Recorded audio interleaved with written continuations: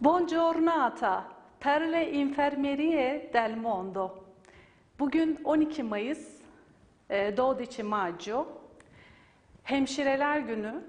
Bütün hemşirelerin Hemşireler Günü'nü buradan kutluyoruz. E, Bizler için e, emek veriyorsunuz, çalışıyorsunuz. Ailelerinizden, çocuklarınızdan, sevdiklerinizden ayrı kalıyorsunuz. E, Bu özel günlerde sizi hatırlamak istedik.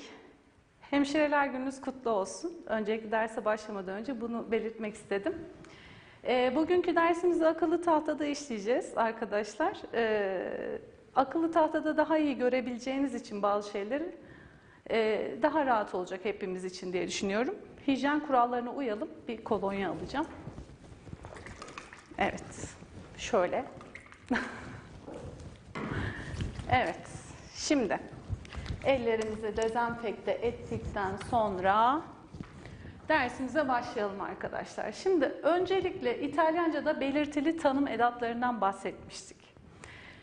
Buradan başlayarak bugün size e, per trafırayı anlatacağımı söylemiştim. Öncesinde e, burada daha rahat görebileceğinizi düşünüyorum. Çünkü e, bir önceki dersimizde e, bazı sanki bazı konularda anlamadığınız durumlar oluştu ve o anlamadığınız durumları telafi etmemiz gerekiyor arkadaşlar. E, o telafiyi de e, bu şekilde bir e, PDF hazırlayarak yaptık. İtalyan dilinde belirtili tanım edatları ve belirtisiz tanım edatları var arkadaşlar. Burada her sözcüğün önünde kullanıldığı sözcükle anlam kazanan bir tanım edatı bulunmaktadır. Bu kavram Türk dilinde yoktur. İngiliz dilindeki the ve a bu kavramı tam anlamıyla karşılar arkadaşlar. The ya tekabül eden tanım edatı belirtili tanım edatı olarak adlandırılır. A'ya tekabül eden tanım edatı ise belirtisiz tanım edatı olarak algılanır arkadaşlar. Eğer kullanacağınız isim belirli e, belli ise yani bildiğiniz belli bir tanım edatı ise e, belirli tanım edatını kullanıyorsunuz. Belli değilse arkadaşlar belirsiz tanım edatını kullanıyorsunuz. Tanım edatları belirli ve belirsiz olarak iki grupta inceleniyor. Ben size demiştim hani iki karakterli olarak yani erkek ve dişi karakterli olarak adlandırılıyor. Erkek karakterli belirtili tanım edatı, dişi, dişi karakterli belirtili tanım edatı, erkek karakterli belirti, belirsiz tanım edatı olarak ayırıyoruz arkadaşlar. Dişi karakterli belirsiz tanım edatı. Yani iki grupta belirtili ve belirtisiz olarak dişi ve erkek olarak ayırıyoruz arkadaşlar. İtalyanca erkek karakterli belirli tanım edatından bahsederken erkek isimlerin belirli tanım edatları lo, il ve ıl demiştik arkadaşlar. Size bunu e, derste anlatmıştım. Onu tekrar ediyoruz ki diğer konularla bağ, bağlılığını oluşturalım. Yani bağlantı kuracağız. İl tanım edatından bahsedelim arkadaşlar. İl tanım edatı sessiz harfle başlayan erkek karakterli tekil isimlerde kullanılıyordu. Tekil olduğu zaman il ragazzo, il mese, il giorna, giorno, il cane, il mare, il tempo, il treno. Fark ettiyseniz sonu o ile bitmiş, maske ile, sessiz harfle başlamış, il alıyor arkadaşlar. Aynı durumlar diğerleri için de geçerli. Ragazzo demek erkek arkadaş demek. Meze demek aylar demek arkadaşlar. Giorno demek gün demek. Kane demek köpek demek. Mare demek e, deniz demek. Tempo demek zaman demek. Treno demek tren demek arkadaşlar. Bakalım lo tanım edatı z, gn, ps ve x sessizleri ve S artı sessiz ile başlayan erkek karakterli tekil isimlerle kullanılıyor arkadaşlar. Lo. Lo, SP, ST, Z, ST, Z ve S ile başlamış. Bazı sözcüklerden burada isimlerden bahsedeceğiz. Lo spettacolo, lo studente, lo zaino, lo straniero, lo zucchero, lo spazio. I bakalım arkadaşlar. I tanım edatı sesiyle başlayan erkek karakterli isimlerle kullanıyordu arkadaşlar. Baktık erkek karakterli. Hepsi O ile bitmiş fark ediyorsunuz kelimenin.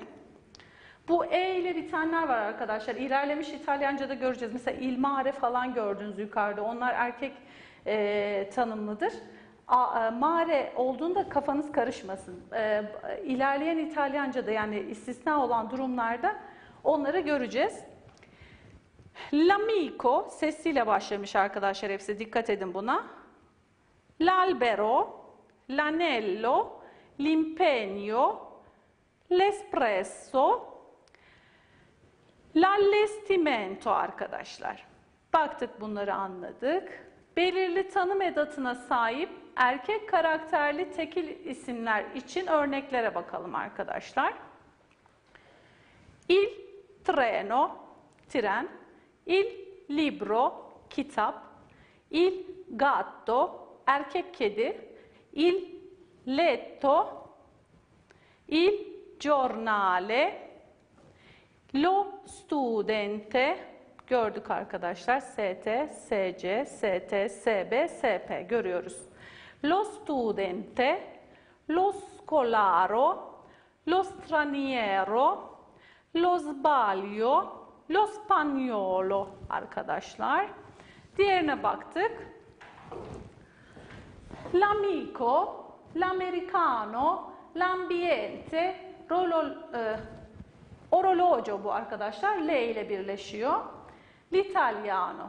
Bu isimlerin nasıl çoğullaştırıldığını göstermiştik size. Onlara bir daha tekrar bakalım arkadaşlar. Erkek karakterli isimler O ile bitiyordu ya da E ile bitiyordu. Çoğulları i'ye dönüşür arkadaşlar. Son harfleri i'ye dönüşüyor. Kelimenin yani e, isimlerin son harfi i'ye dönüşüyor arkadaşlar. Erkek karakterli belli tanım edatları nasıl çoğullaştırılır ona bakalım. Tekilde il olan i'ye dönüşüyor çoğulda.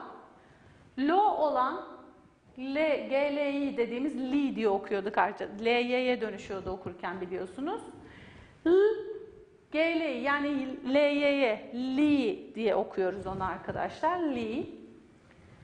Çoğulları i, li, li'ye dönüşüyor. Tekilleri il, lo, l olarak karşılıkları arkadaşlar. Burada daha rahat görebilirsiniz.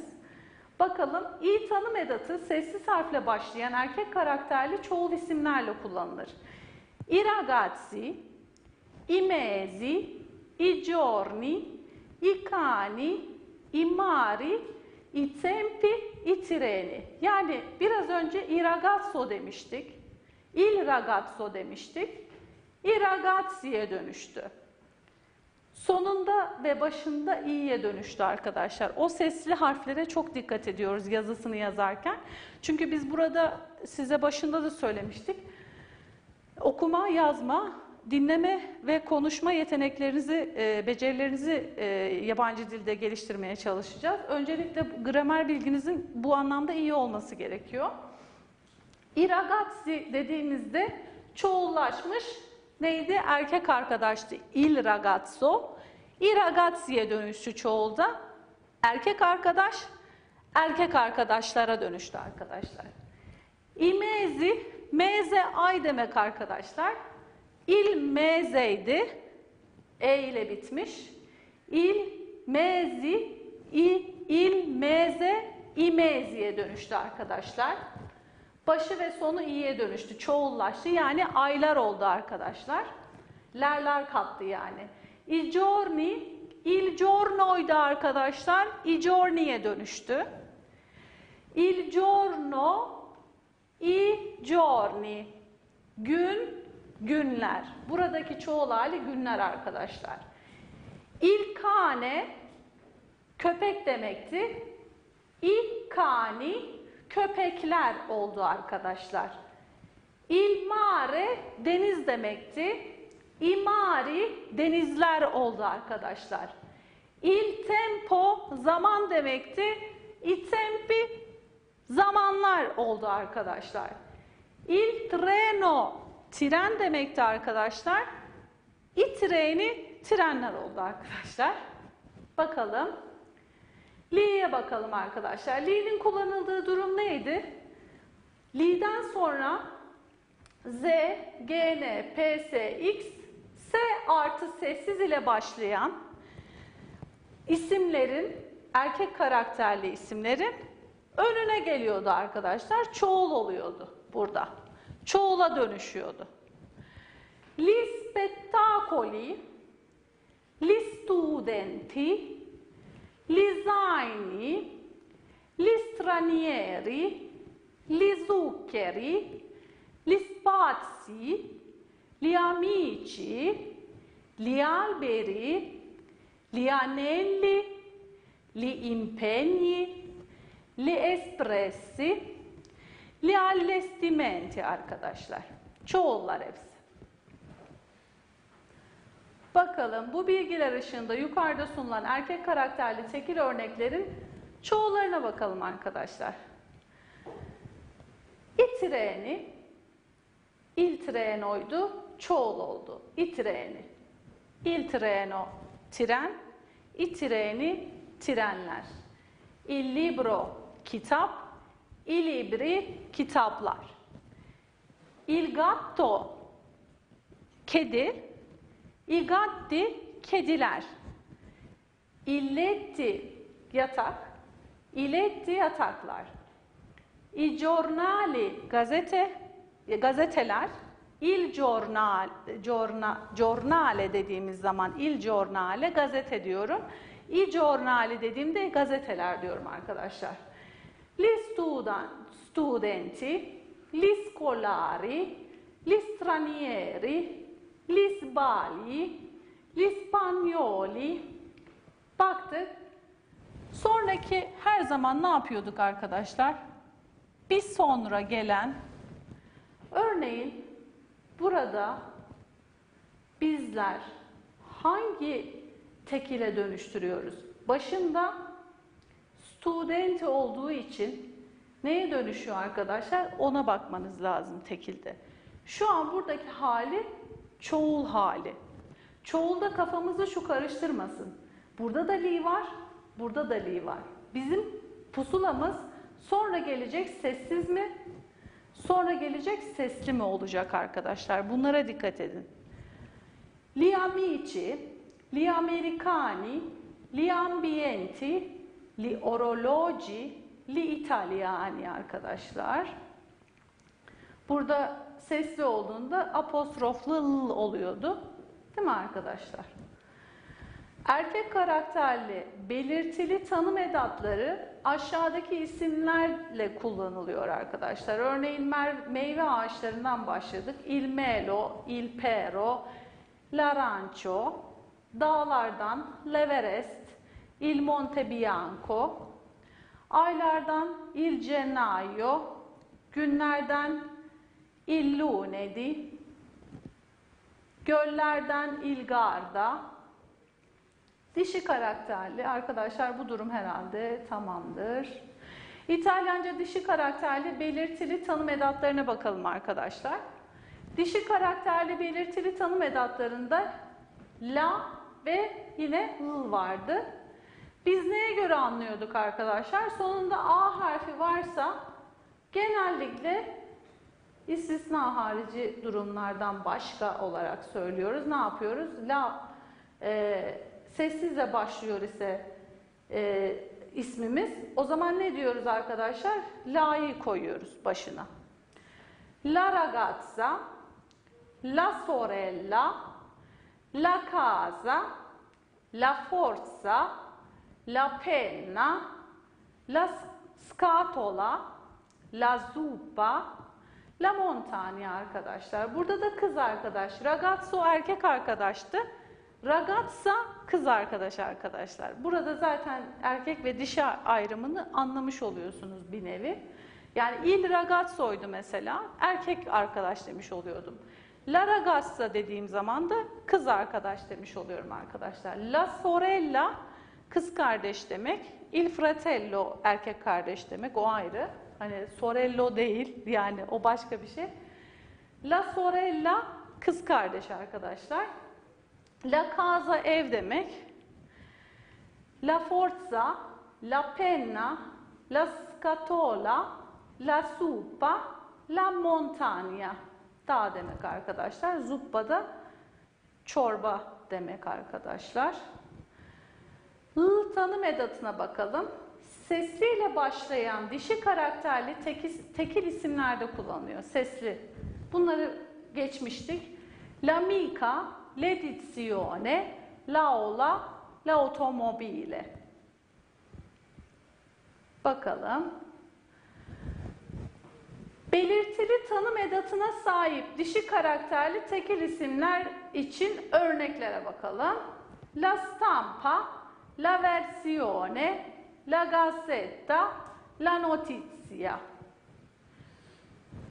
L'osservatore, l'unione, l'arena, l'innovazione.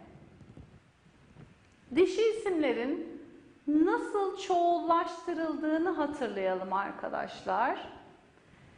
Dişiler A bitimli oluyordu, E bitimli olabiliyordu. E, A bitimliler E'ye dönüşüyordu.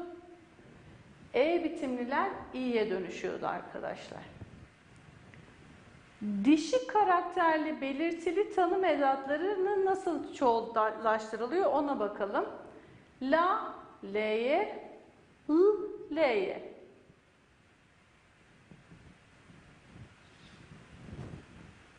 L tanım edatı dişi karakterli çoğul isimlerle kullanılır. Le ragazze, le sorelle, le case, le forze, le penne, le sca- scatole, le zuppe, le montagne, le amiche, le edizioni, le aule, le automobili.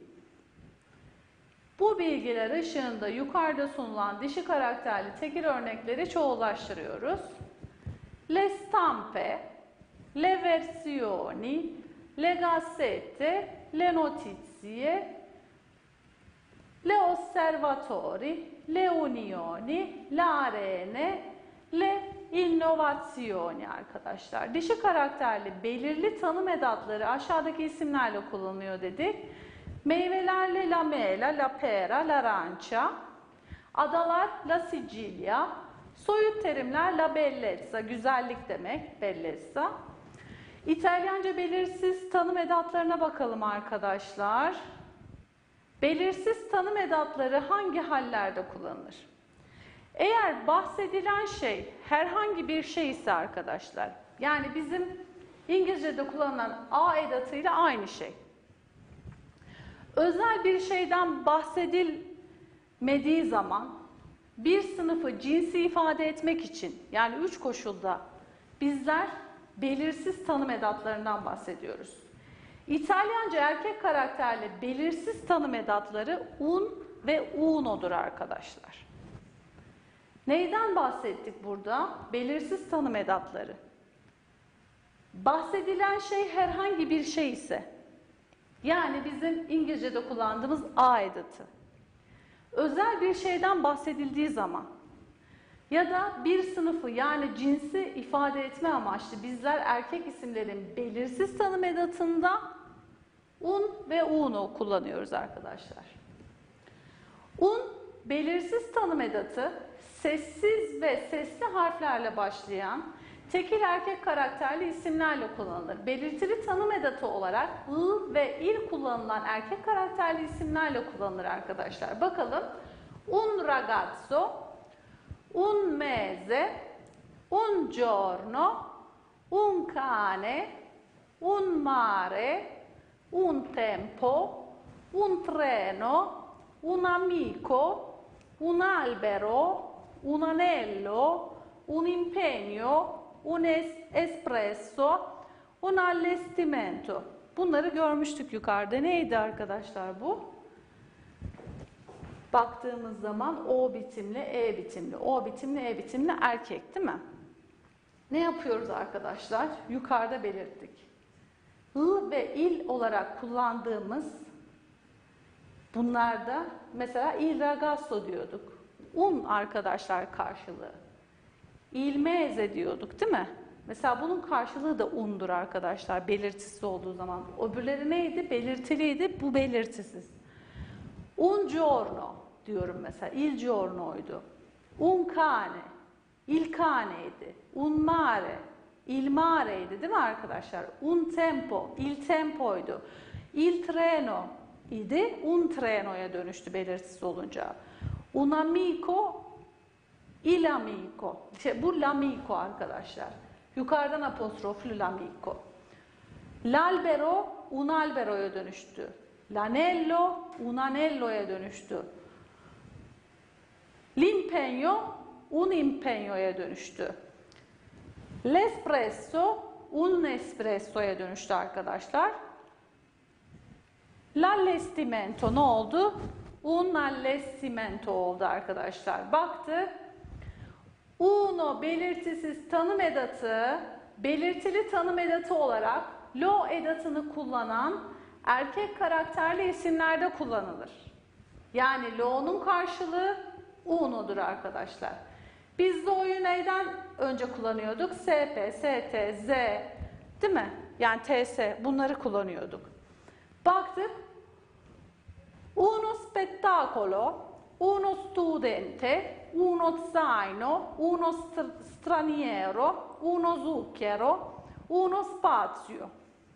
Belirsiz tanım edatlarının belirli karşılıkları bu şekildedir arkadaşlar. Belirtili tanım edatı il, ı ve lo'dur. Erkek karakterli durumlarda. Erkek karakterli belirtisiz olanlarda da tanım edatı un, un ve uno olarak karşılıkları var. Il una dönüşüyor, ı una dönüşüyor, lo uno'ya dönüşüyor.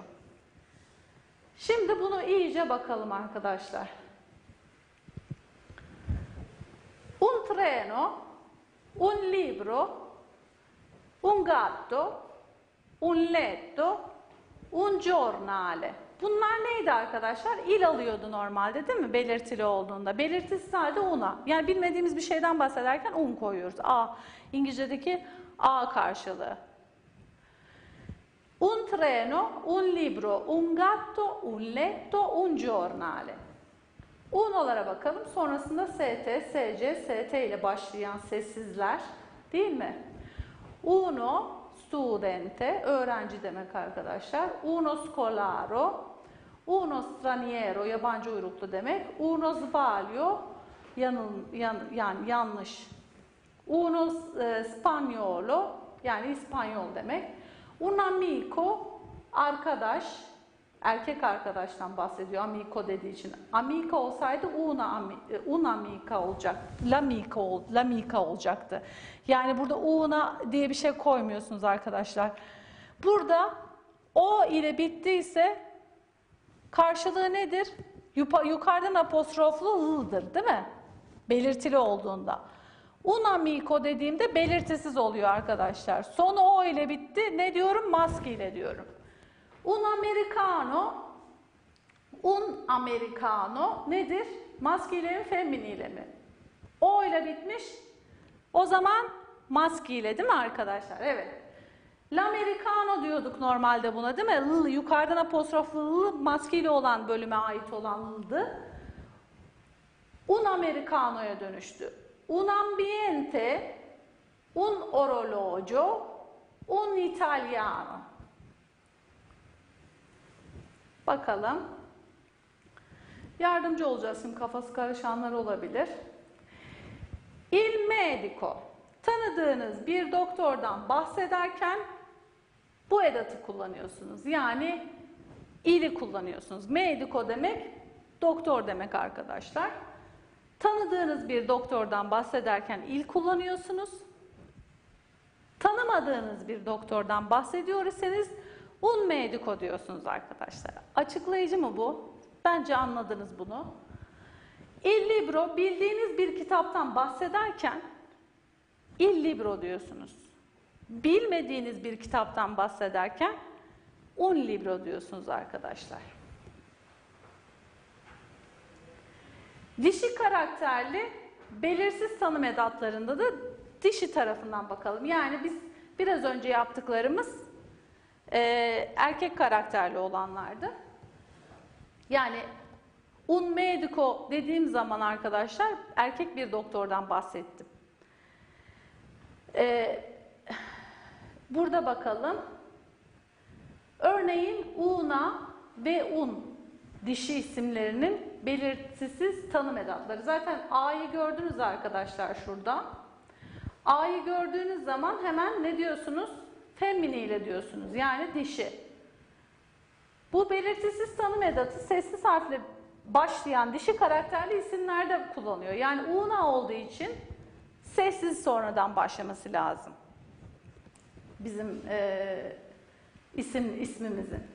Una ragazza, una sorella, una casa, una forza, una penna, una scatola, una supa, una montagna. Arkadaşlar bu neydi mesela?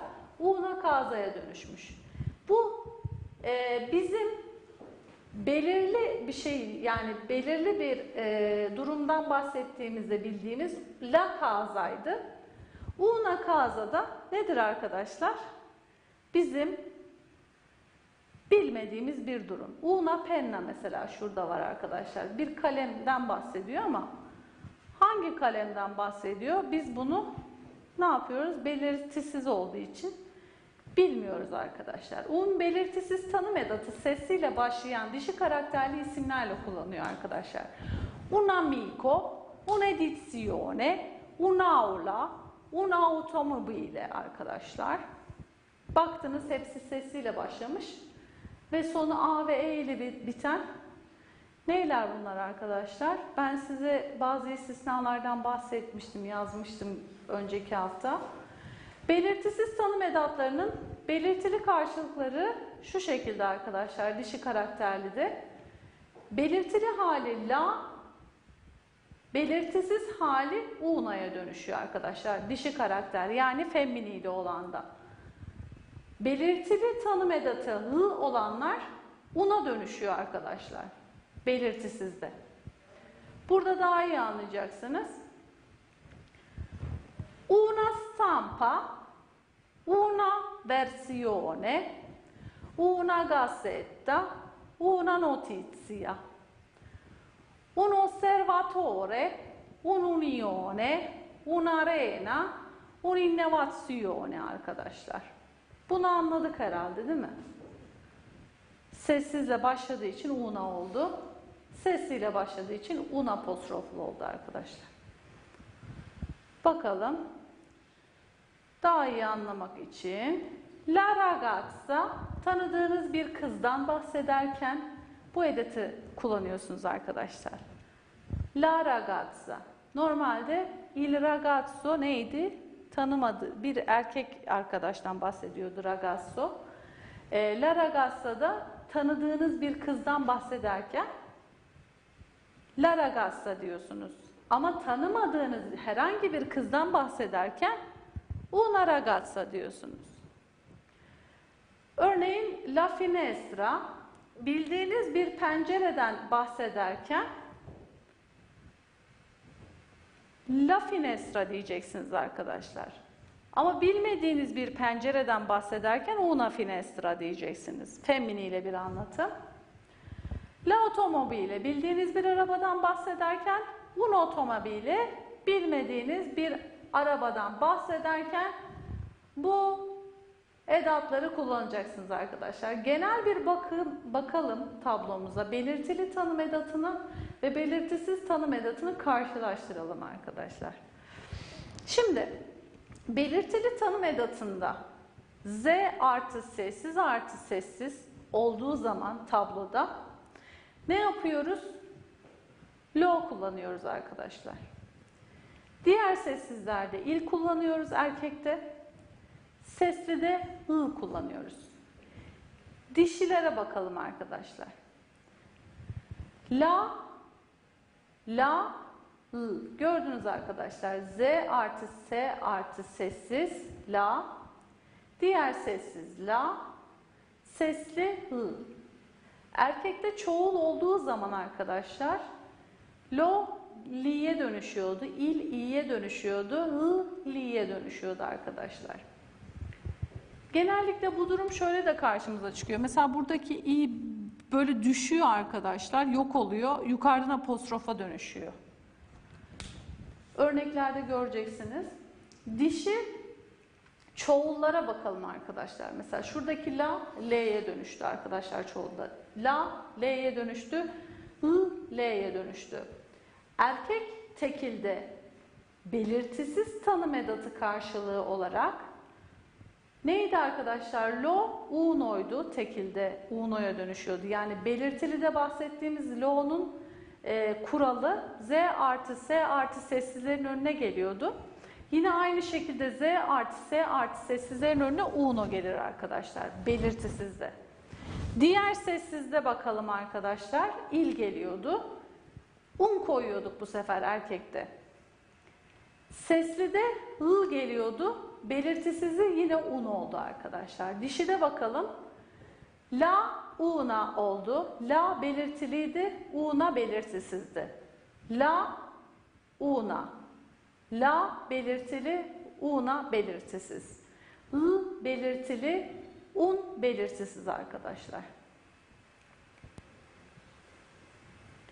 Belirtili belirtisiz dediğimizde neydi arkadaşlar önemli olan? Bildiğimiz bir şeyden bahsederken il kullanıyorduk. Erkek maskeli olan da bilmediğimiz bir şeyde bahsederken onu kullanıyorduk. O, onun farkı var. İtalyanca edatlardan geçen hafta bahsettik. Örneğin adi, aitlikten bahsetmiştik. Di arkadaşlı, arkadaşlar aitlik anlamı vardı birinci durumda. İkinci durumda orijin belirtme vardı. Aeroporto di Venezia örneği verdik. Venedik Hava Limanı. Dipa, e, Dipartimento di Matematica, matematik bölümü arkadaşlar. Orijin belirtmede bahsederken de Sono di Milano dedik. Milan'danım. A yön belirtmedeydi arkadaşlar. Birinci koş durumda kullanılan bölüm. Örneğin vado a Milano, Milana gidiyorum demek. Yani Milano'ya gidiyorum. İkametgah belirtirken kullanıyorduk arkadaşlar A'yı. Abito a Fano, Fano'da yaşıyorum. Fano İtalya'da bir bölge. Şehir yani. Üçüncü bir şeyin neyden yapıldığını belirttiğimizde kullanıyorduk arkadaşlar. Spagetti al limone, limonlu spagetti de yapıyor onlar. Böyle biraz size garip gelebilir belki. Daha birinci durumda denden tarafından anlamı taşıyordu arkadaşlar. Vengo da Roma, Roma'dan geliyorum. İkinci için amacıyla anlamı taşıyordu arkadaşlar. Un libro interessante da leggere. Okumak için ilginç bir kitap dedik örnek olarak daha da. Tarafından anlamı taşıyordu arkadaşlar. L'italiano è parlato da quasi tutti. İtalyanca herkes tarafından konuşulur. In içinde de da anlamı taşıyordu birinci durumda. Abito in Italia. İtalya'nın içinde yaşıyorum anlamı taşıyordu burada. İtalya'da yaşıyorum.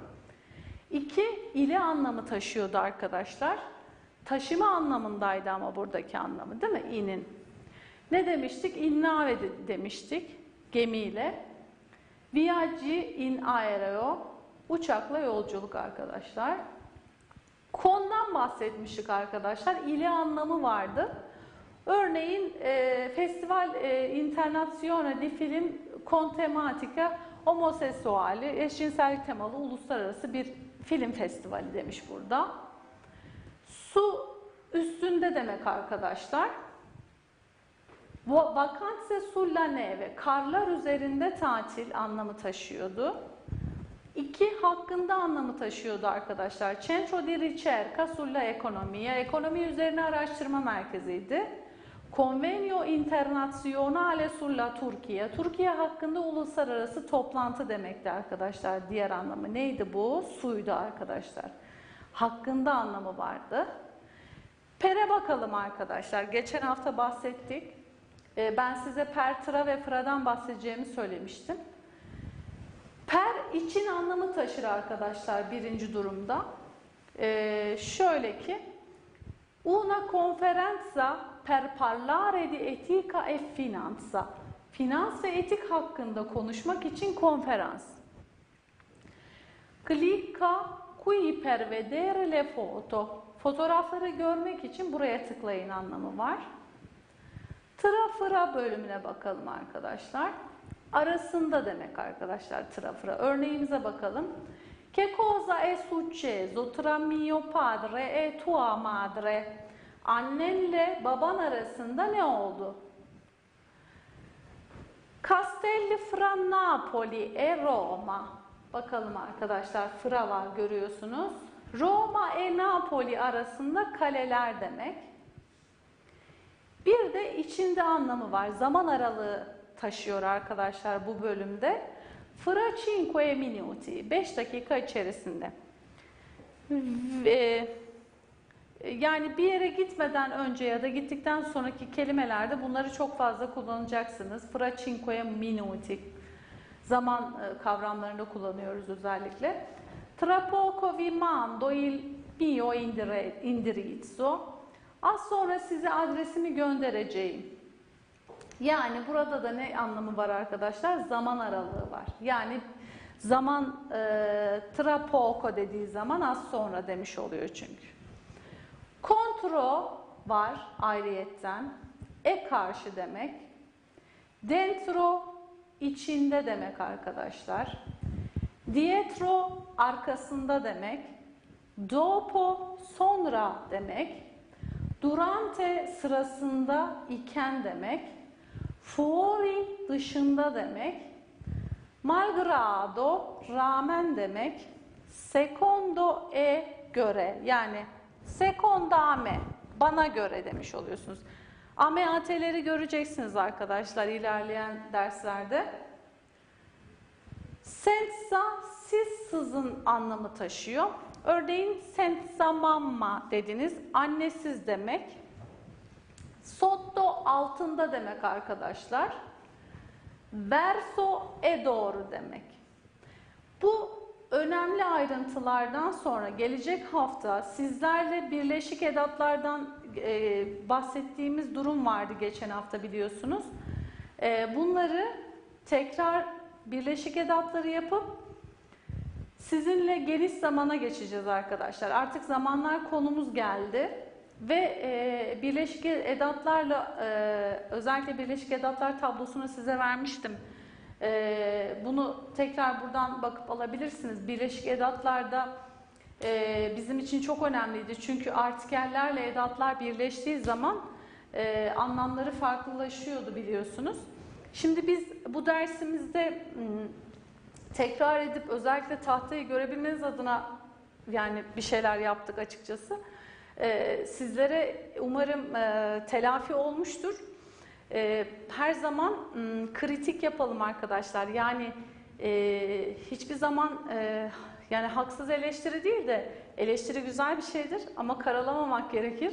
Sizler de beğenmediğiniz durumlarda lütfen e, yorum bölümüne neden beğenmediğinizi yazınız arkadaşlar ve beğenmediğiniz durumları ben de öğretmen olarak kendimi geliştirmeye çalışayım. Çünkü eleştiri almak e, kendini geliştirmek adına yapılan bir şeydir.